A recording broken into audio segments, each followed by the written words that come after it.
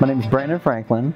I'm a board certified behavior analyst in a school district, and my day typically consists of going to school, visiting with students, training teachers, and working with admin in the building to really solidify uh, the plan that I have set up for the student to succeed within a school building so they can continue to carry out the plan after I am done and have faded. How about you, Matt? What should be like? Uh, it's kind of the same, except I don't work for a school district. I consult to several different school districts in New Hampshire and Vermont.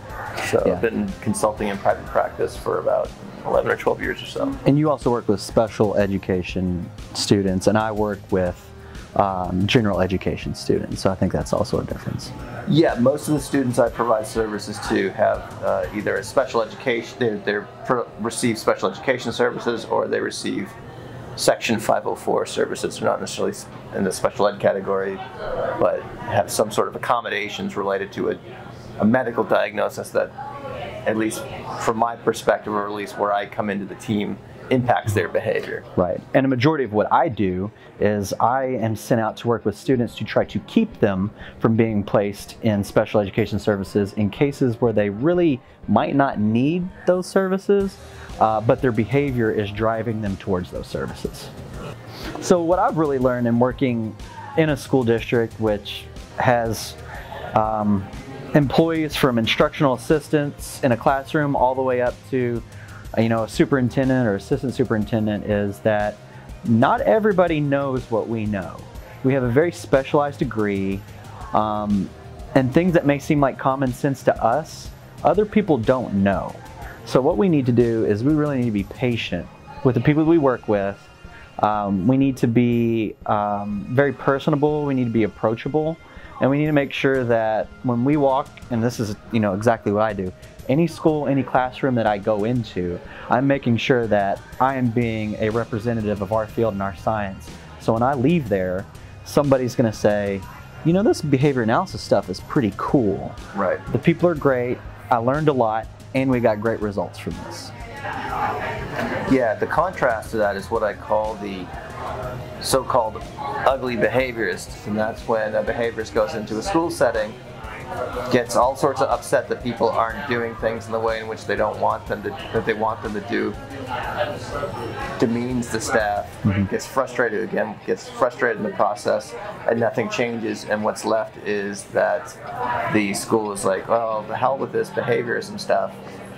We had a BCBA once, and uh, you know, they just want us to collect a bunch of data. You know, so I'm, I think the field has come a long way since that time, and I'm not saying that every behavior analyst personifies this uh, image that I'm saying, but it is there is some historical baggage that I think we as a field need to overcome, or at least that's been my experience. Um, so it's good that it's a good it's a good thing to encourage people to go in and connect with teachers, empathize with what For sure. this, with, with the challenges that they're faced with, and then slowly try to build that relationship so you can put some solutions in place to kind of set that hook so they realize, hey, I like this stuff, I want more of it. Right, right. And a lot of times when I walk into a classroom or a school building, um, I realize that it's really the last opportunity or last chance for this kid Right. before they are tagged as special education or placed into an IEP for the rest of their academic career. And the statistics for those kids aren't great. Yeah. Um, so what I have to do is make sure that what I'm doing is, you know, working with the teacher in a way that also makes the student successful by being positive, upbeat, cheering the teacher on because what the teacher's feeling is going to rub off on the student in the way that they perform Yeah, totally. as well.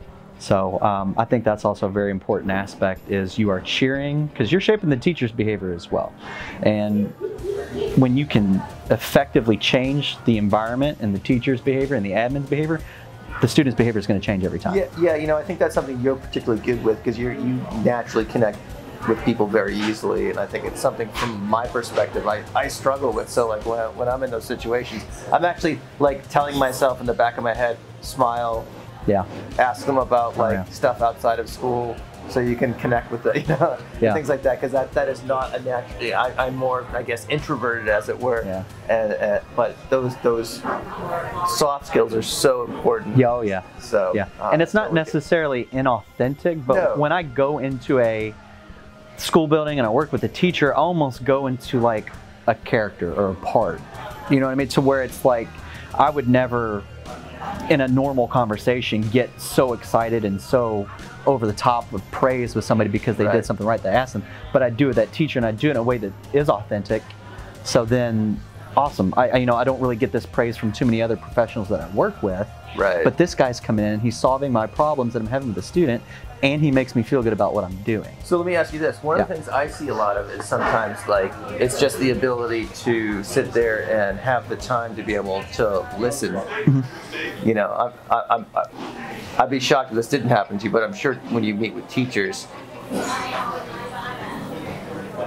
the that's their first opportunity to Oh, yeah. kind of vent about the situation that they're finding frustrating, right? I call it talking them off the ledge. Yeah, exactly. That's what I call it. Um, so, you know, I'll generally meet with the teacher without the admin around, and I'll explain to them exactly what it is that I'm doing and what I'm here for and what we can expect out of this behavioral journey together. Um, and Do you use the air quotes? you- No, I, I actually that's probably one of the first times I've ever used behavioral journey in my life. but We're going uh, on a behavioral journey. you, me, the student on a behavioral journey. It's not the line. So I tell them number one, I'm not a teacher.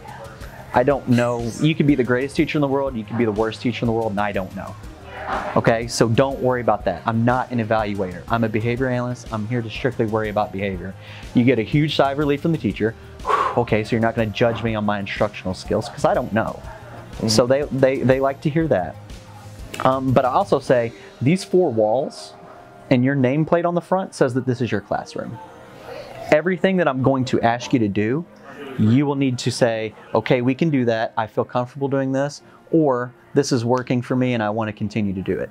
I tell them, be honest with me, be open with me, and if there's anything I ever ask you to do that you cannot do, do not feel comfortable with, or you do not feel it is working, I want you to tell me and we'll find another way to get the job done. And it's you're building that relationship with that teacher so that that teacher can build the same relationship with that student in the way that, you know, you're bridging your treatment and your plan and everything with them. So So for a while, y'all have been asking about people that are in the school system as behavior analysts, and well, we got it. Make sure that you give these two some props down in the comments below. If you have any questions, they'll be following along. And thank you so much for your time. That's your daily BA. he's wow, that's how bad it was. he's like, I'm gonna make him feel good. Uh,